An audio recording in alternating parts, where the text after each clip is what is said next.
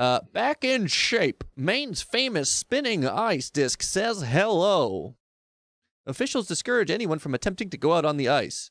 "Quote unquote." It is not safe. Don't tell me my life. Don't no, you don't make decisions for me. The Westbrook ice dick ice dick has returned to the. now that would be something I would not ride.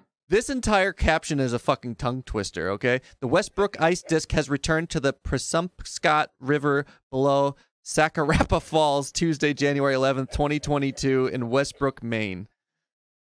Wow, Ska- Sa- Saccarappa Saccarappa Falls.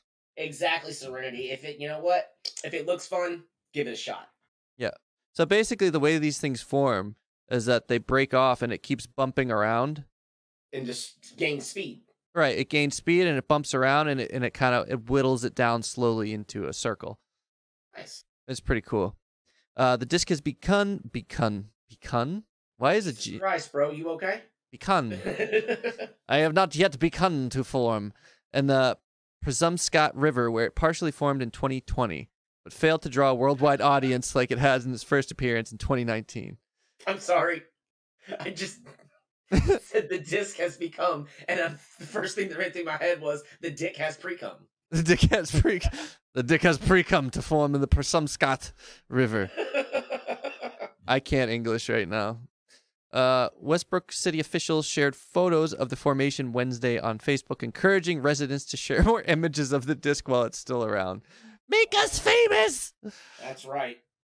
Ice discs form as a result of current and vortex under the ice. Ice sheets begin to spin and then form into circles, but ice discs largely rarely form in locations like Westbrook. City officials discourage anyone from attempting to go out on the ice. What makes it not safe? Is it thin? Is it, Yeah. is it spinning? I think it's because it's thin. Uh, three years ago, a 100 yard wide ice formation appeared in the river for the first time and brought international attention to Westbrook before it dissipated with the advent of warmer weather, as ice does. You would think, right? I mean, my drinks that get warm tell me that that's how ice melts. You know? Ice get hot, ice turn water. Ice get water get cold, water turn ice. Uh, and it's this cycle. Okay. So, you know who Hank Green is, right? Mm-hmm. Okay, so he had this video not too long ago talking about ice and water and things like that. And it's is like one of the questions was, is ice a rock?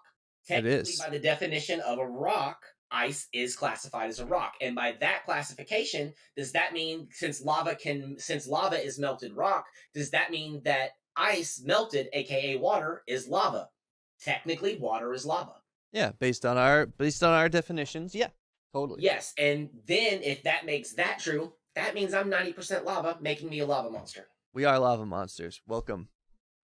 Welcome, my son. Welcome to the machine. Uh yeah, we we are lava beasts. This is great.